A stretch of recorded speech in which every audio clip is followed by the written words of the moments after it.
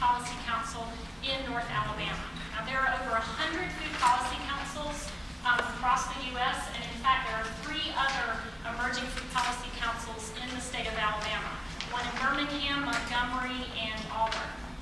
Um, and the goal for our future food policy council is to build a more locally based, sustainable, and self-reliant food system that is accessible to everyone in our community.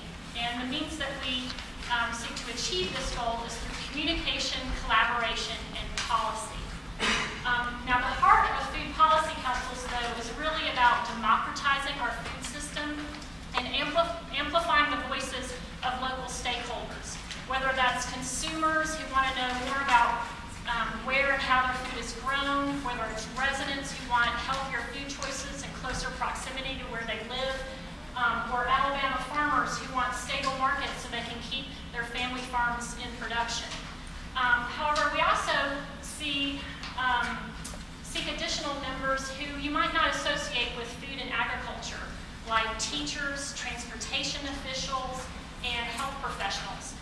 because from our point of view, everyone has a stake in the local food system.